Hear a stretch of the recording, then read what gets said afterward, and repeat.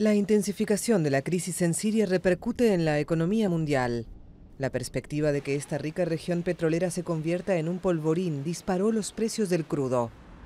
El precio del West Texas Intermediate, que se cotiza en Nueva York para entrega en octubre, subió 2.95 dólares a 111,96 el barril en los intercambios asiáticos.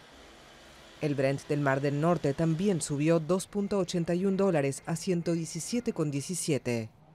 Las bolsas asiáticas registraron fuerte pérdida este miércoles a causa de la tensión en Medio Oriente. Tokio, Sydney, Shanghái y Hong Kong registraron caídas. Las bolsas europeas, por su parte, también abrieron en rojo, mientras las divisas de los mercados emergentes se hundían.